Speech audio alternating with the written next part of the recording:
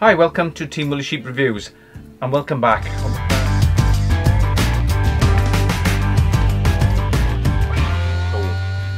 Right, as promised, some workshop talks. Back in the 80s, when I was an apprentice, I bought a soldering iron. An Antex soldering iron. So I've had this for, for literally donkey's years. Uh, this is a, a mains operated soldering iron. And for doing general soldering, this was actually a fine tip. As you can see, I've had a couple of tips along the way. These are the, the slightly larger tips. So, and these tips, just basically interchangeable, they just push on as things went along, people wanted to be portable. So along came, you could call this the TS1. This was a gas operated soldering iron. And basically what it did, there was uh, the, these tips were interchangeable, but there was a little catalyst in there, which obviously the gas reacted as like a gauze in there, heated up the tip. Not much of a a temperature regulation. You can see it's been well used. And this was in my toolbox. So as an engineer out on the tools I would if I needed to solder something this was my soldering iron of choice I did loads of work with this slightly posser version didn't get much use I don't know how people manage without soldering how do you manage without soldering you know somebody who can solder. The type of things you'll need, obviously the solder.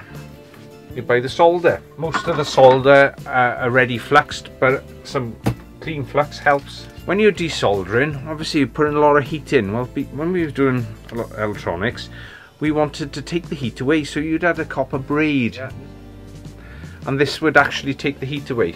And because it's copper, it would absorb the solder and to desolder a joint. So we used to use braid for desoldering. Solder suckers become more more popular.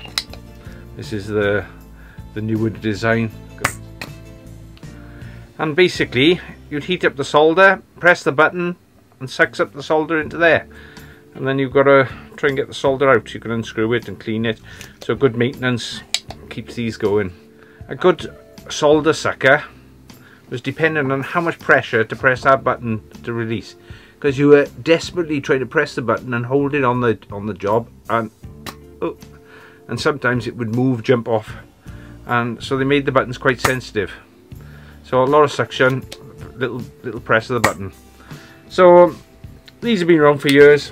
If you want to get into soldering and you're watching this video then look for a, a solder sucker because they're going to serve you well. Solder oh my god. Oh my god.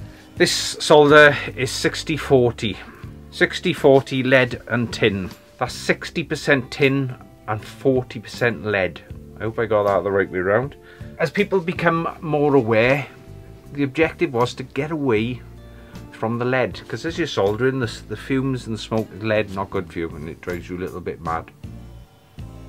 Apparently. But then along comes the variants. 6337. But what you'll soon find is that different solders have different solder flow characteristics. And what I mean by that is that when you're soldering, is some of them a lot easier to use. The idea when you're soldering is that you tin the iron, make sure there's solder on the iron, you put the iron on what you want to solder, and then you add the solder, then you take the iron and the solder away and the joint should be nice and flowed and smooth and everything should be lovely. But then you look at some people soldering and they look like they've got bloody pigeon shit all over the place. It's you think how can they get in such a state? A lot of it is not always your fault. A lot of it is some of this cheap ass crap solder. You're, you're soldering, it's an alloy and you're there soldering and it's melting but it's all very chunky and horrible. So this makes a big difference. When you're using this you've got to get the temperatures are critical and a good flux is essential. So, lots of solders, lots of choice. Find a solder that works for you. Lots of practicing. Get it on. Iron on, solder, iron off, iron on, solder, iron off. You shouldn't be on any longer than that for a solder joint. Iron on, dab of solder, iron off. If you're there doing any more, you're going to start causing damage and things are going to go badly wrong. So try and keep that 1-2. Iron on, solder, iron off. No longer than that and you won't go far wrong, believe me. Many moons ago, when I got into this hobby, I decided I needed a better soldering iron. So I went along to my local electronics hobby store and I bought one of these. Nice soldering iron. Instead of mains voltage now, there's a power supply in there, so these were 24 volt and temperature controlled. There's a thermostat in there and this this control box controls the temperature of the iron. Worked quite well, then the iron went. Maplins that I bought, the people who I bought it from, had gone bust. They'd gone through. So when my soldering station failed me, I went back to the mains soldering iron. and trying to solder boards like this. It was doable, but it was like going at it with a salt with a sledgehammer. So this was okay, got me by. I happened to be on Amazon and I noticed Antex is still going. So I had a look at what soldering stations are available by Antex and it just so happens they were on offer. There was a sale on. Oh. So I managed to get one reduced. It's my main soldering station so we'll have a look at it. So this is my where most of my soldering happens believe it or not and this is my soldering station. It's the Antex 690D soldering station. And this is a nice bit of kit. As you can see, it's quite a solid. Forget Batman, um, Darth Vader. Uh, mains power via an IEC plug. Some people like to call them kettle leads. And it's quite easy to, to use. As you can see, there's two buttons and it's got marked up and down. And that's the temperature, up and down. Comes with a handset and base turn it on and you can see that's reading an active temperature. If you press the up button it takes over and that's that's going to 390 degrees centigrade. So that temperature of the tip is climbing to 390 degrees centigrade. I haven't checked how accurate that temperature is. What I do is I solder if I feel that it needs to be hotter I just turn the temperature up. If I'm starting to use if I'm using it for battery plugs then I might turn it up and go up into 400s so good bit of kit. Like I said don't rely too much on the temperature. Gauge is a, a reference only. I haven't checked the accuracy.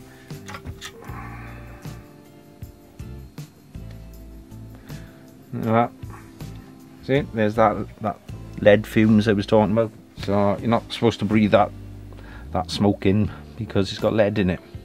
Not good lead free is the way to go. So lead free is the the new standards and everybody should be using lead free solder uh, to do all their soldering. 6040 lead and tin is a thing of the past. I'm not going to give you a soldering lesson because I know you'll only take the mic.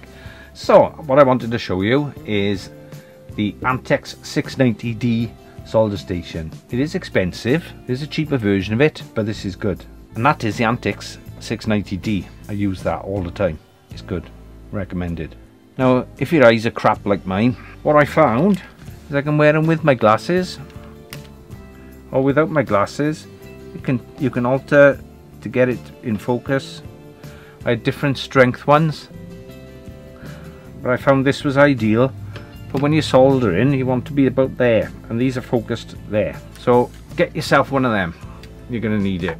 Another thing I use a lot a loupe and you see the jewelers using these and they're if you've got a circuit board and you've got problems you'd be amazed what you can see when you get in up close where you've splashed solder joints are bridged. Little jeweler's loupe. Very inexpensive but absolutely fabulous for doing soldering